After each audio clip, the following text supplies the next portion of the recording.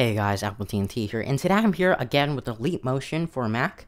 Um, this is also available for PC, and I'm just going to go ahead and plug this in. Um, make sure the USB is right side up.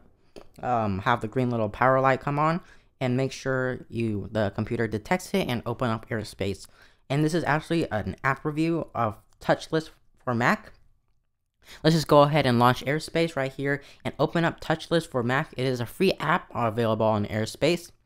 I have a link to that down in the description below. So it does take a while to open. Um, does load for a while. But once it's open, you'll see it in your menu bar and you're going to go ahead and check basic.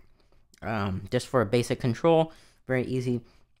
So as you can see, I'm recording my screen right now and you can see a little green little cursor. Um, it I'm actually using my hand to control the screen. I'm actually using like my hand as a mouse. As you can see, it is pretty sensitive, but it does take a while to get used to. Um, your arm does get tired, so you want to make sure you have an arm rest below.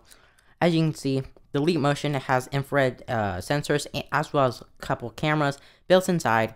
It is about $70. You can buy it on their website or at Best Buy. Came out not too long ago, uh, but as you can see, I can open up and launch um, my Launchpad mission control. Um, it does uh, lag a little bit.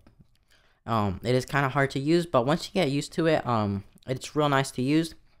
Real clean interface. You can also scroll by using three fingers. Just uh, scroll up and down. It's not always that sensitive.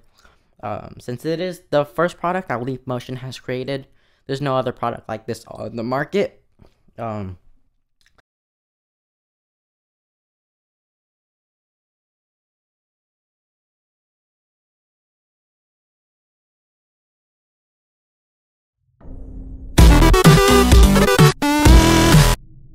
Hey guys, Apple TNT here, and today it finally came, the Leap Motion. Now this product was announced quite a while ago, almost one year ago, and it finally was um, available to the public uh, on July 20, 22nd, I believe. Now let's just go ahead and unbox this. Now this just came right from the mail. As you can see on the top, few air pockets. Now this is Elite Motion.